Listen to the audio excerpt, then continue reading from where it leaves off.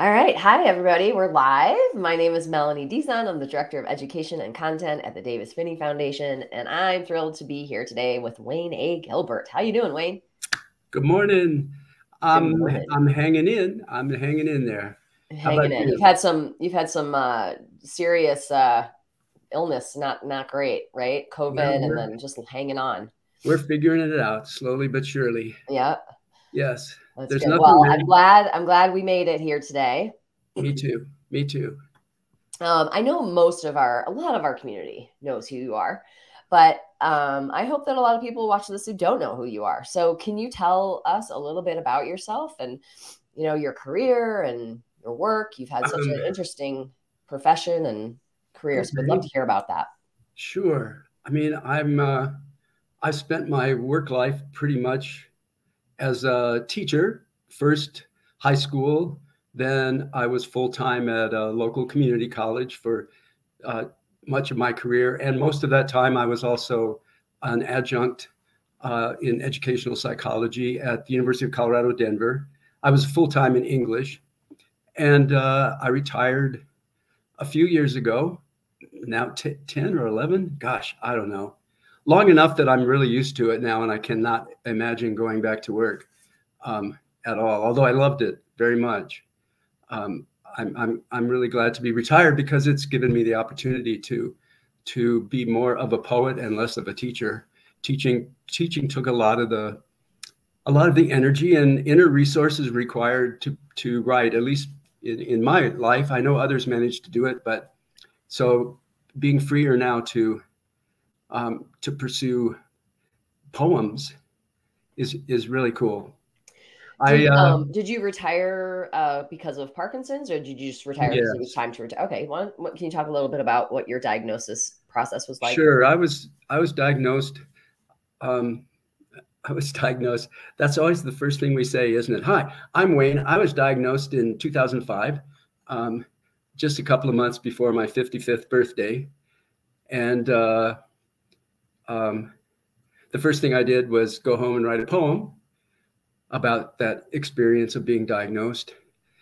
And uh, yeah, I worked. I worked a little bit longer, a few more years, and until 2012, I think it was. Uh-huh. And, but it got harder and harder because at community college, a full-time teacher teaches five courses, and and I was still teaching at the university as well, and it just it just became too much. I just couldn't do it. Yeah. So um, I managed to figure out a way.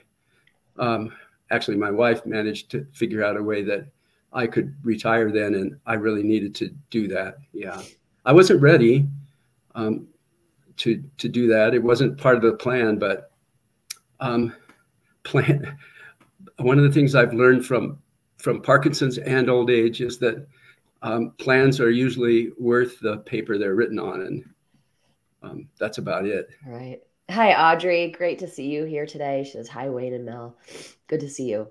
Um, so, when you got that diagnosis and went home and wrote a poem, was was doing that act something you had done your whole life when you had to deal with something big? Like that's how you processed it, or was this sort of a new? I need to write a poem it was not a new at all. I mean, I'm I'm probably probably our audience noticed I'm a white man, and that means that I grew up in a culture where um, there were two feelings for men. One was none, and the other was anger. So growing up, I had no clue how to differentiate uh, amongst feelings. I didn't know what they were, how to label them, what to do with them, other than um, stifle them, stuff them. So, as a senior in high school, actually, I, I, I accidentally discovered writing as a way to to express feelings. And then I discovered, oh my gosh, they're different from one another. I can begin to differentiate amongst them. And that year, you know, I was I was at my third high school. My father was in Vietnam. Uh, my mother and sister and brother and I moved to this teeny tiny little town in Iowa after having moved 16 times before that. So it was a rough time. And there was a lot of, and it was the Vietnam era. I turned 18, registered for the draft. All this was going on inside, and and the way I learned to process things was to write. Usually, journal. I kept a journal. I started a journal in 1969, and have have kept it up. My daughter won't let me throw them away. That is uh, that is good. I um, I, I went. I I was a big journaler, but I just went through a phase where I said, "Oh no, if anybody ever reads these, I'm going to be I just am not and it's not okay." I and I remember just telling the story. I I remember I I filled a black garbage bag with them and I went to this dumpster and I remember looking around like like I was dumping a body or something. You know, mm-hmm. like I just was like what are, what are people thinking I'm doing? I I dumped it in there and I it was it was a crazy feeling. Um yeah. But uh, yeah, I don't know. Like it's just there's so much there, right? But there's so much there, and I but then I went back to it. I don't know. It's an interesting practice, right? It is, and and for me, it's essential. I mean, mm-hmm. I I literally um, cannot imagine. It is the most important medicine in my life, and has been my entire uh, since since 1969. I, I simply can't imagine um, sorting through my own feelings and discovering new meanings when that's required without right. without writing. I know that's not everybody's thing, um, but for me, that is absolutely an essential part of my life. Essential. If yeah. I couldn't write, I would have to figure out a way to use recording or something. I, I don't know what I would do. Actually. Yeah, absolutely. I don't think I've ever. Yeah, no, nothing has. I've never worked through anything without writing through it. Right. Um, everyone says uh, susan says hi wayne. Hello mel. Hi uh, ron says hi wayne. You look great as always. I hope i look as good as you in old age. Uh, hi elizabeth holler from new york nyc it's great to see everybody here. Um, okay so do you remember the name of that poem that you wrote right after your diagnosis?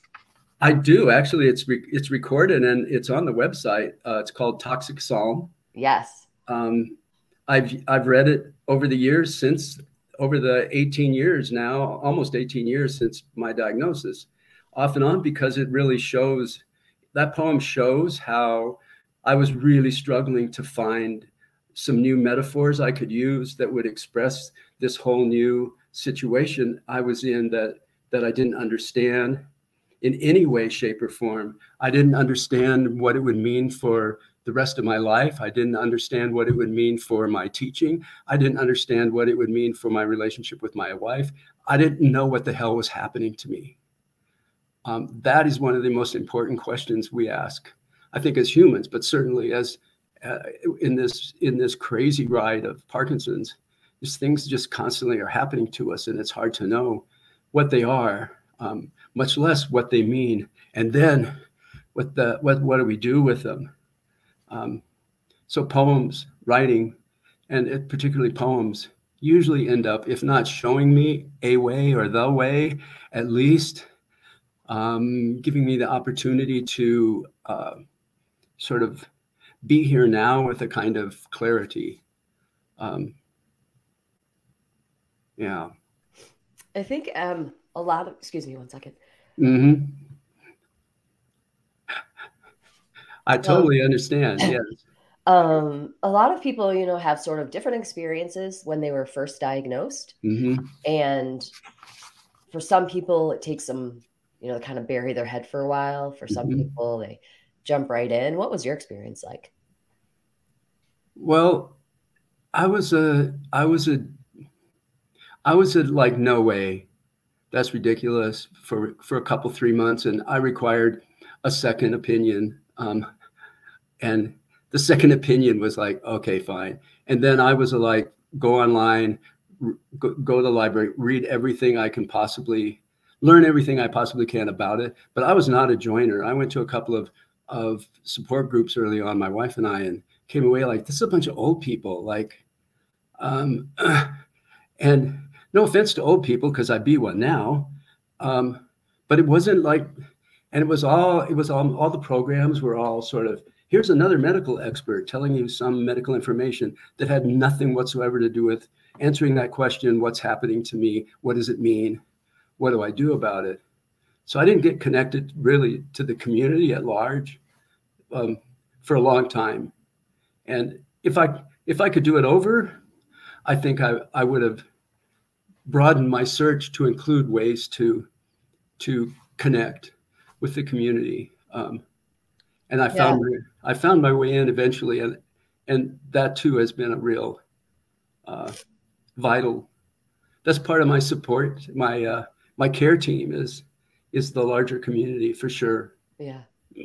well, so that that's an interesting thing that a lot of people go through in terms of um, they get a diagnosis, they're younger, and all the literature, all it's just old white men stooped over and feeling old. And yes, what could you know? What could it? What could?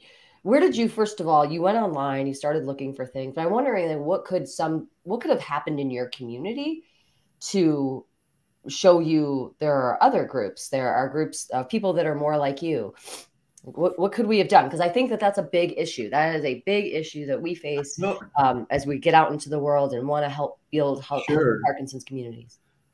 Gosh, you know, I I don't I really don't know. I, I think 18 years ago there there wasn't much. Um, uh, it was much harder to find. It's so much. There are so many more organizations now. Um, Davis Phinney Foundation. Um, for instance, excuse me, the Brian Grant Foundation is a, is another one, and that focuses on you know living, not on some esoteric research of pharmaceuticals and promises of cures and all that um, hocus pocus. Um, and so I don't know. I really don't know why. Um, I co-founded a with my sister and niece. Um, I co-founded a dance program that's affiliated with Dance for PD. It's not the same as Dances for PD. And and we did that 11 and a half years ago. And that became a little support group for those of us who got involved in dance. And that was really important to have that kind of activity. Um, but I think there's such a huge difference between there's my dance teacher yep. and my niece just said love you wayne. Yep. I just put, i threw it up there. I was like oh this is good love you back. Um, for sure. And and the um, to make i think the parkinson's community has gotten much more um, excuse me much more sophisticated differentiating between early onset and um, excuse me just one minute between early onset and what I call geezer onset, um, they're they're hugely different.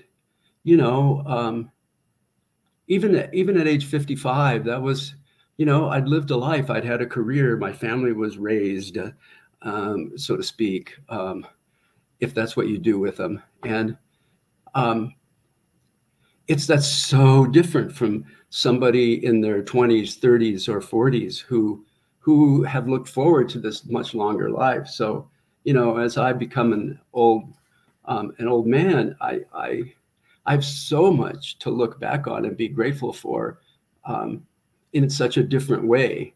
You know, my children knew me without Parkinson's disease, for instance, and some of my good friends with uh, um, young onset, um, that will not happen. Now, you know, my kids grew up with a with a mom who has an artificial leg, and and that was not weird to them. So because that's what they knew. And of course there's that. But but developmentally i think in terms of our life stages and what the what the crucial issues are in our life stages are just so so different.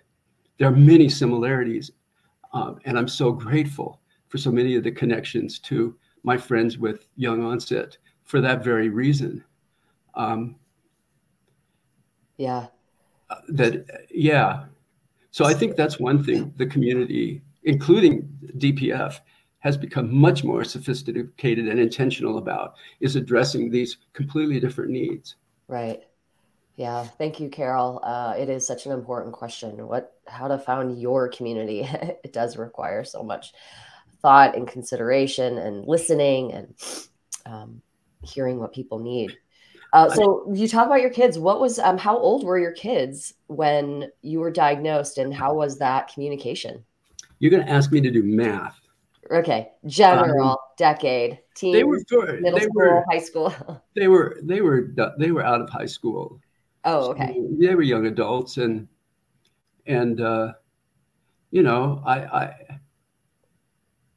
it, it didn't seem like that big a deal because um, I've been really, I've been really, um, I mean, what, whatever a Parkinson's, my Parkinson's doesn't show as much as everybody else's, or as, lot, as much as a lot of others. Not everybody, um, by any means, but so it was a little easier. De- denial is just so damn important, and and some things make it easier than um, than other uh, ways of being, so to speak.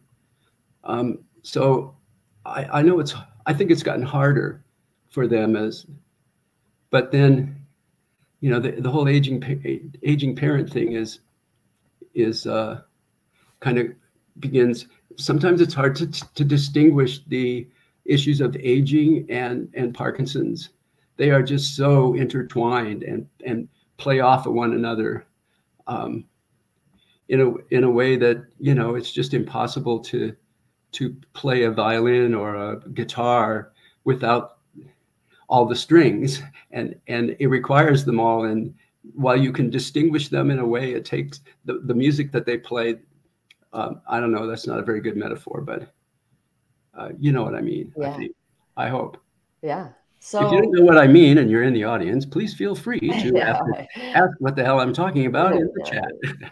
um, and Connie says, "Looking good, Wayne, as ever, and as, as ever, so thoughtful. Thank you." Oh yeah. Um, so quite you you said mine doesn't show up as as much as other people. Can you share a little bit about your what what are your sort of cardinal symptoms that have really impacted your quality of life and and how has that changed over the last oh my god many well, many years almost 20 yeah. years I'm I'm right. I'm I would say I'm right in the middle of a major transition right now, and and I guess mine have included more pain, a lot of pain, stiffness and rigidity, um, uh, and depression and anxiety. Um, cog- some cognitive issues. I, I had to stop driving because I, I just began to feel overwhelmed by the amount of sensory stimuli coming in and my my brain my brain was just like dude i can't handle all this. Slow down. Well that's not a good thing to be saying on the on uh, the turnpike between boulder and denver you know um, or on i-25 or any of the other or even on colfax avenue.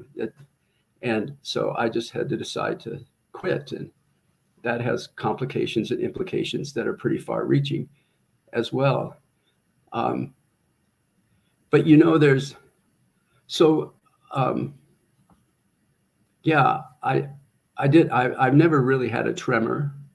Um, sometimes it, it shows up and sometimes I have internal tremors, but you know, nobody can see. That's what every people often say, God, Wayne, you look so good. Well, I always add, you know, yeah, okay, for a septuagenarian and all that stuff, but but you don't get to see you can't see the inside. That's another thing reason I love poetry is that I I feel like I can reveal, if you will, who, who I really am, what's really happening in ways that just being in the world or being seen um, uh, doesn't do.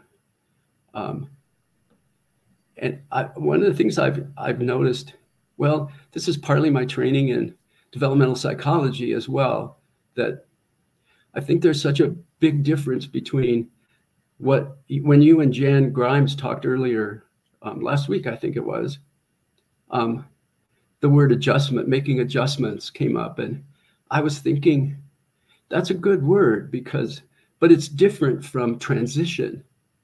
You know, as we go along, we learn to make little adjustments, even if our bodies and uh, um, okay, I have to slow down a little bit here to uh, catch my breath. No worries. No worries. Take your time. Um, adjustments are all those little improvisations and and ways we're flexible day to day.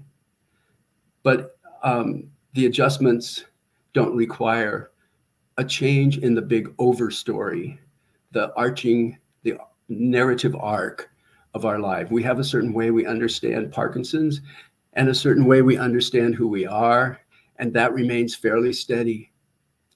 But at some point along the line, um, something happens, either inwardly or outwardly or both, that shatters that overarching narrative arc. I can't, and I can't ignore it. However hard I will try, because I want to live by that story and I only want to make adjustments. But now, now something has happened that requires a major transition. And in some way, I am going to be different when this transition is more or less when it's gone past the, the midline, if you will. I don't believe it's ever over, but um, and life will be different in ways I don't really understand right now. The pandemic began for me in as that kind of event. Um, I loved it in a way because it gave me a solitude I've, I've always longed for my whole life, and and I got it. But wow, careful what you ask for. You know, that was rough. And so when these when when these internal or external or co- combined change occur, you have to one you have to examine everything your life is built on. And because things that were working before aren't working anymore. It's, it's and it's terrifying. It's also really exciting, but it's mostly terrifying. Yeah. Um, and this storm moves in, and and you're in the middle of a storm. Um, puberty was that way. Um, to choose an example that everybody has been through. Um, my wife went through something like this for years and years. She had an artificial leg that was covered. So it was very difficult for people to notice that she had an artificial leg. Someone might notice that she had a little tiny bit of a limp. Um, so she was in control of when that was revealed.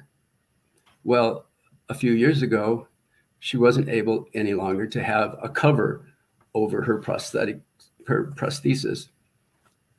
And it was traumatic because now everybody could see instantly.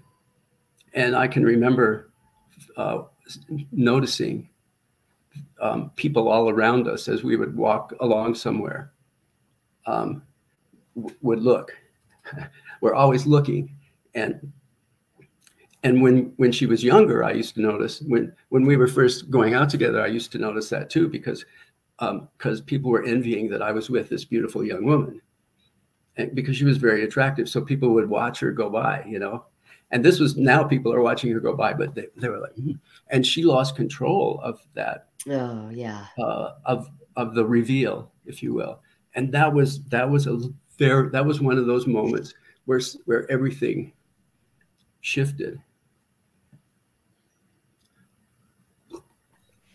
Yeah, that's a big one. What are some of the things that you're trying to do as you go through this real transition right now? Well, um, the this poem, "The River," is my answer to that question. So I'm going to sneak it right in here, just like we, just like we planned it. Just like we planned it. I want to. I'm going to hold. I'm going to put it up. Hang on a second. Okay.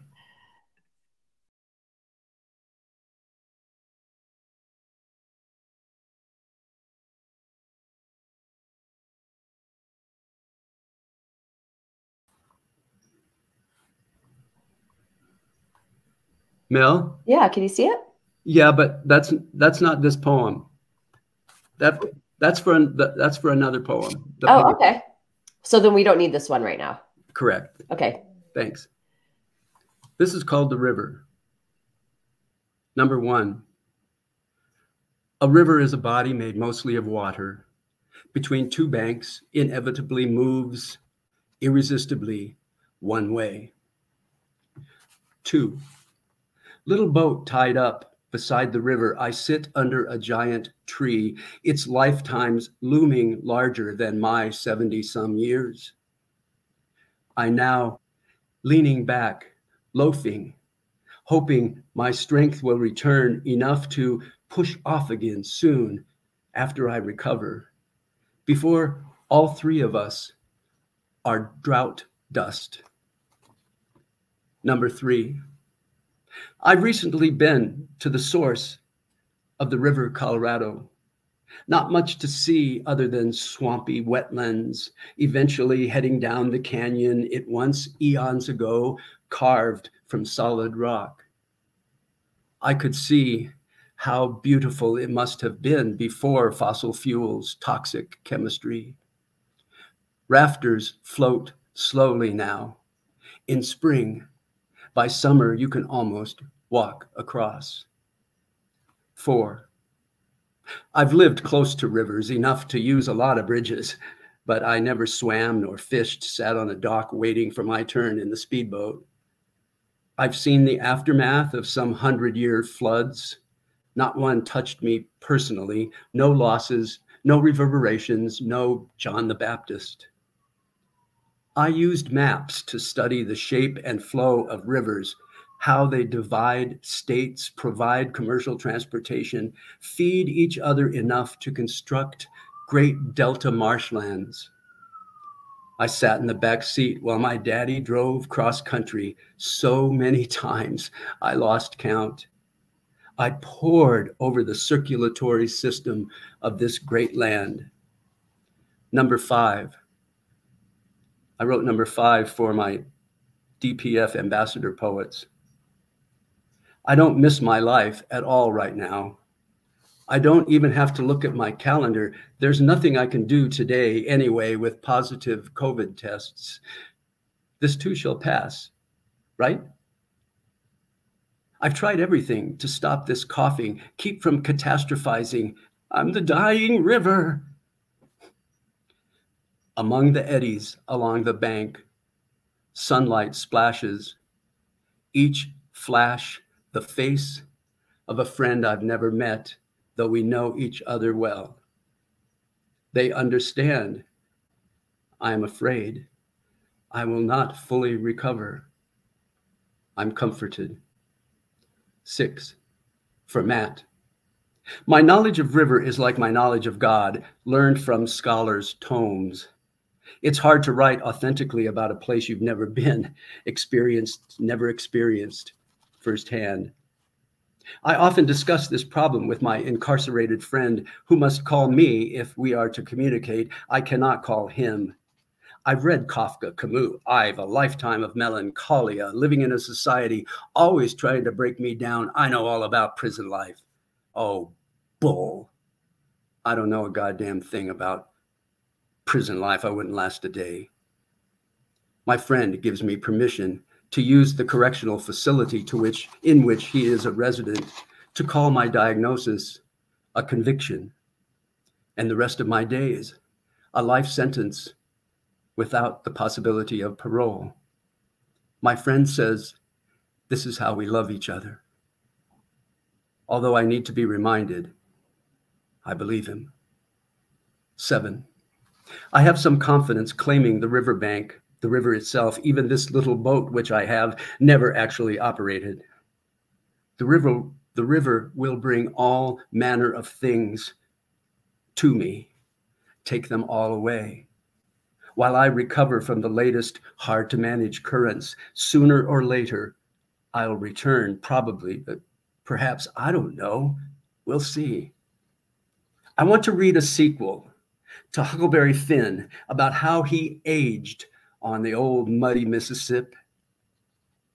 Meanwhile, the Colorado River no longer reaches the dead delta at its former mouth on the Gulf of California. Pretty much peters out before it crosses the border. Eight, my little boat floats, easy, perfectly low, shaped for the most, shaped for most any water. A wooden sampan with a handmade rudder, a curved cover, just enough for one. It bumps now against the bank where I've secured it to the same tree against which I lean. I am certain it has a heartbeat. Perhaps it resonates with the cousin, gives us both shade. Perhaps they're sharing arborescent mem- memories.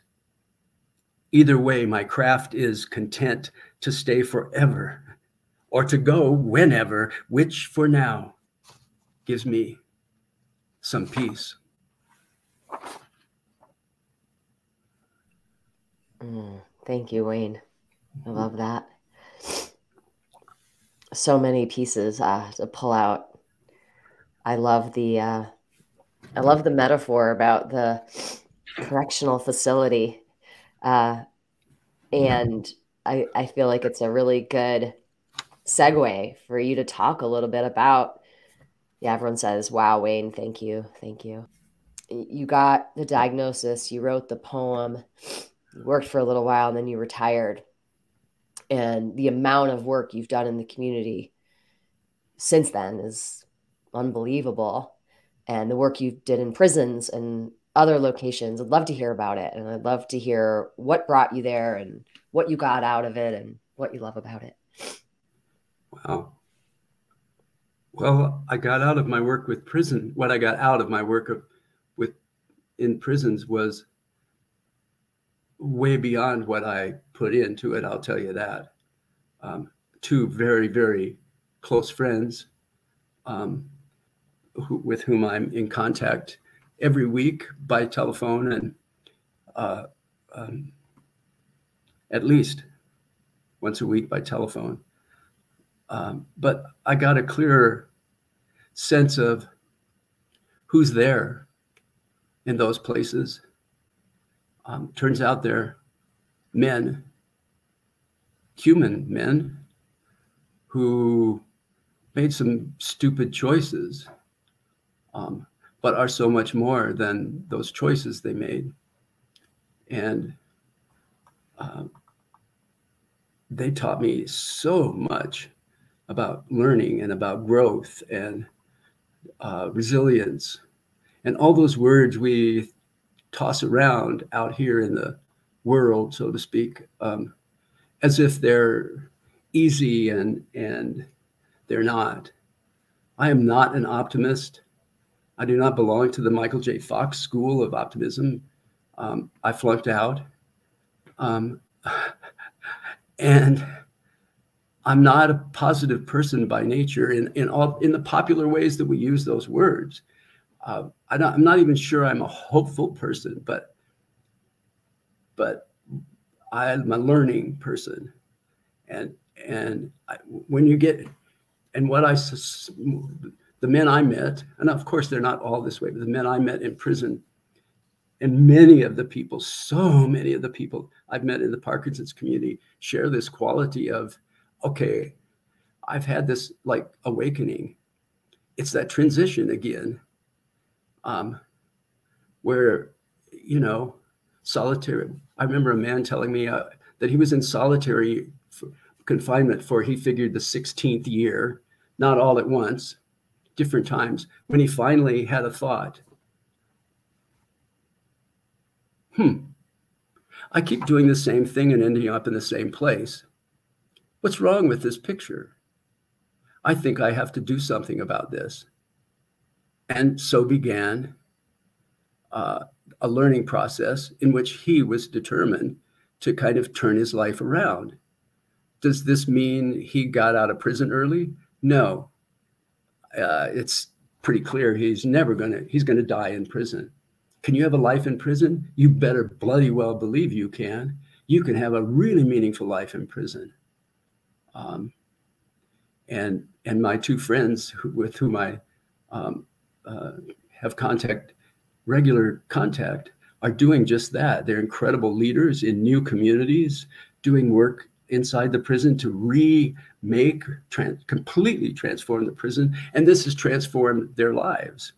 And now they're transforming other people's lives. And even if they never get out of prison, they, these the men that, that, that they're working with in these communities will get out of prison and perhaps take something they learned from my friends with them. Well,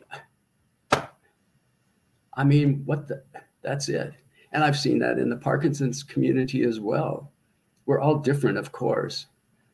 Um, and yet, this is this is the the way we go. I have to say at the same time, now I feel right now, I don't know whether this is uh, the beginning of the transition or or I'm nearing the end and my life is changing just over in ways that it will not that I won't return to the way it was. I, I don't know for sure, but I, I suspect um, it is. Um, is that now I'm looking for, I'm looking for not more ways to be engaged, actually. For, I'm looking for spaces where I can find uh, peace, relief, refuge, sanctuary, where, and they're small spaces, even inner spaces, where where things are not, where where where the air is is free and the, the there's no Parkinson's or or no pain and or no arthritis or no whatever. Um, and man, those places are hard to hard to find and and they're difficult to stay.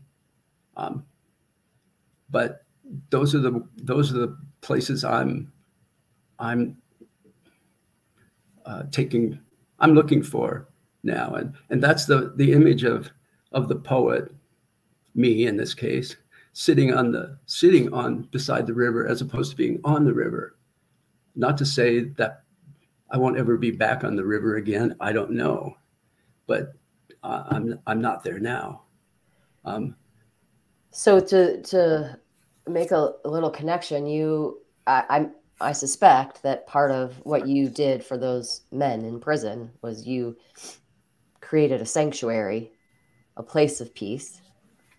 And you're looking for that right now a little yes. bit more. What what did that do for them?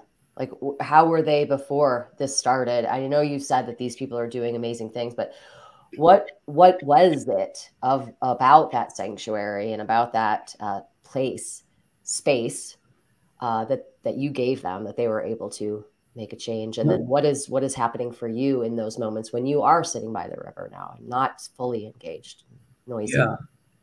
I, I guess they used to say one of the things i heard regularly um, was that the class the classroom space where we where we held the poetry workshops and they really weren't workshops in the classic mfa sense. They were they were they brought poems they shared them we talked about them and and we went on to the next poem. But what they what they would say to me that this was the one this was the one place in the world that was predictable to them and I, that just like what and because ironically the world of prison is not predictable at all you have no you have no control first of all over what's going to happen you cannot believe a thing anyone tells you, um, no matter their motives, it doesn't matter. And the danger is real. Um, and there are so many other men around, you just never know what's going to happen. Where they knew, so vulnerability is absolutely forbidden, taboo. You do not be vulnerable um, in any way, shape, or form, physically, emotionally, or whatever. But in in the poems and the poem, the classroom of poems, people could be vulnerable. The men could be vulnerable. We could talk about being men who were taught that emotions were not acceptable except for anger. We could talk about men learning about violence. We could talk about men whose hearts were broken because of that, whose spirits were crushed because of that, who knew no other way but anger. And so it was a place to be vulnerable. And all I had to do was was kind of hold that space open and make sure that uh, vulnerability was always okay there. And then they had to take that out into the live with that when they left the classroom because I couldn't do any uh, anything about the rest of their world. Um, and I think there's a just as I'm hearing myself say that, I'm, I'm, there's part of me, there's part of me listening to that and saying, yeah, that's it. That's it. That's that's that's that space where you can just be. Um, um, I've been practicing uh, don't know mind a lot, rather than what my wife calls trying to explain everything mind. Um, don't know mind has has been um, really really good company for me lately. I highly recommend Don't Know Mind. Well, can you give um, our community an example of maybe something in the Parkinson space that comes your way and you're like, don't know mind? Sure. When there's when you get a new when we get a new symptom, it's not a new version of an old symptom.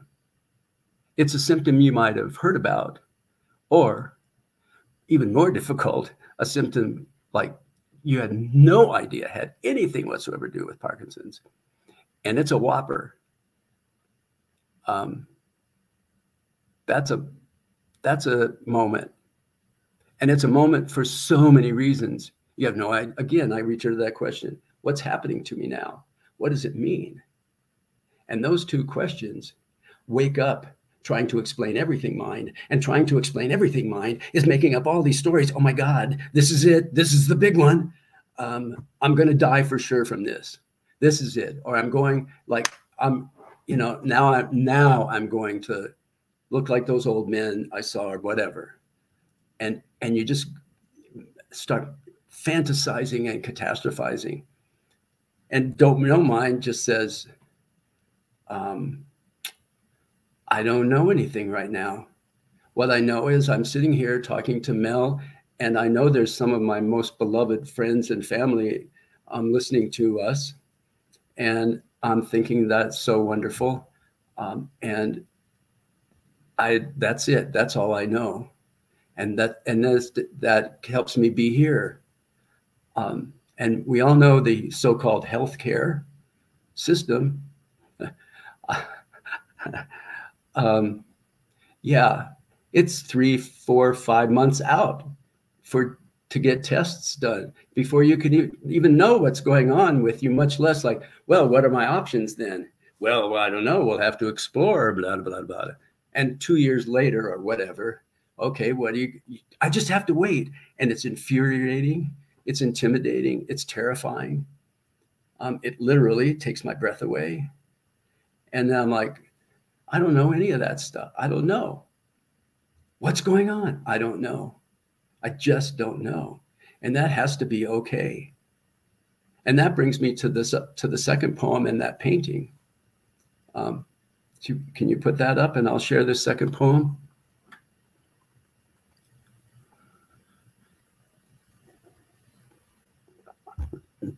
A lovely friend of mine with whom I've collaborated a number of times um, is a is an incredible artist, painter, visual art of all kinds, and um, she has a whole series of paintings she did on. Uh, uh, well, now I can't think of the word I want. Anyway, virtually by herself in a little studio in Wyoming, and this was one she shows, uh, sent a photo of to show me, and this poem relates to this painting, very much so. And the poem is called Acceptance. After a painting by Sue Gibbons called An Approaching Storm. Behold, the storm of the Lord has gone forth in fury. Jeremiah 23 10b, 10a. Number one, first there was a warning of imminent danger Extreme weather conditions forecast thunderheads churning on the horizon, a tsunami of darkness surging towards me. I took cover, sought shelter like the others in corridors and basements, waited anxiously for the waves to crash upon my head. Two. Soon enough, the storm came and went, as storms always do, each with its own consequences, sometimes wondrous, sometimes catastrophic. usually a host of minor inconveniences. I stood afterward, measuring the landscape first for damages, then for benefits I might accrue, but I was scanning the wrong places. Something, something inside me, unmeasurable, had turned the way houseplants pivot slowly from the room toward the dangerous window, straighten and lean into the light. I walked out into the ionized air, listened to the prairie grasses whisper, Yes, yes, you are changed.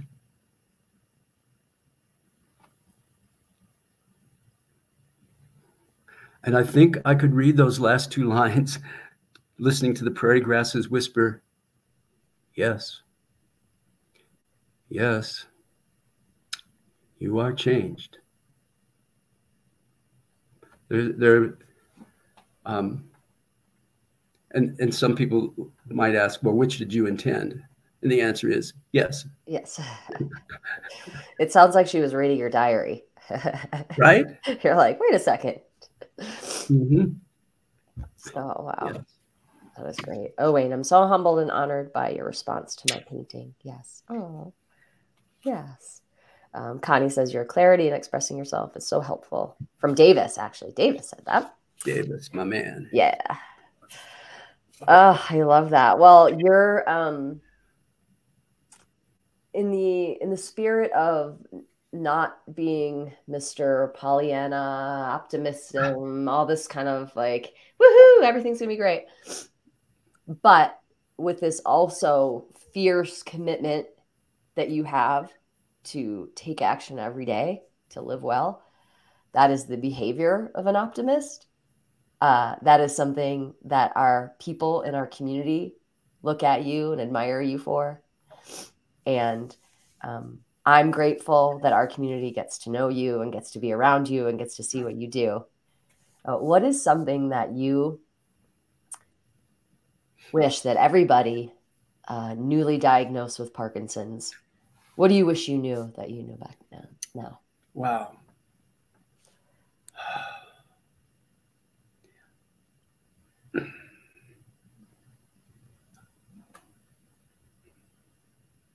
I'm glad I didn't. I think I I think I'd have to say I'm glad I didn't know more than I too much more than I did. It's I was thinking like he's gonna say the no no the no I don't know mindset like whatever you know, it is. I mean, looking back, honestly, I don't learning all you can. I mean, I you can't go wrong learning all you can, and and as soon as you can, denial just is like a short-term strategy that is really helpful buy some time. But eventually it's it's just deadly. That's all there is to it. And i but i knew that.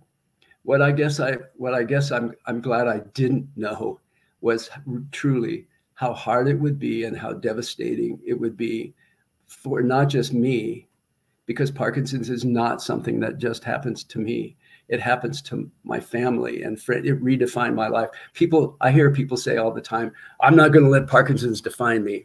I'm like, okay, well, you go. Good luck with that. I, it sure has defined a lot. It sure has defined me, and it's been one of the ways I am defined. And it has, it has, in certain ways, uh, uh, directed my life um, in the same way that a hurricane um, changed the life of a friend, a poet friend of mine in Florida recently, and she had to give up her her home and move into basically a, a converted hospital room and give up all her things. Um, and uh, in her 80s. Um, that's rough, man. The, one of the early on, I read I, another poem that's on the website is uh, Parkinson's is no gift, Jim. Parkinson's is no gift. I'd get if if it was, I'd give it back in a I'd take it back. Um, you know, Amazon takes all kinds of stuff back. I'd give it back in a heartbeat, heartbeat, because my life had lots of rich things before Parkinson's. And I'm sure without Parkinson's, I would still have had a rich, wonderful life. But there are, of course, that's not to say there aren't incredible um, gifts along with Parkinson's. I mean, Parkinson's still, I'm still alive. I still have a life. So my life is full of gifts and wonderful things, but it's really, really hard. I had no idea. And I'm glad I didn't because that would have scared the bejesus out of me. And I was already pretty scared. Yeah. I don't know. That's probably a weird answer, but no, no, it's honest.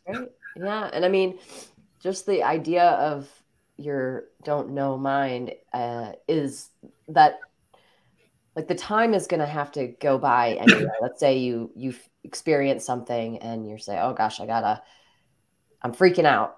This is something. I I heard this. Somebody said this, and they said this is going to happen. I can't get in to see my doctor for two months or three months. That time is going to go by anyway. Exactly. Right. So right. you can either choose to spin, which, hey, human, like no no shame about it. Um, or you can just kind of wake up every day and say like, oh, thanks, but not. I can't deal with you today. I'm not. I'm yep. not doing that today. I've got more important things in front of me. Right. That's right. Yeah, it's that's totally true. And uh, I just amen.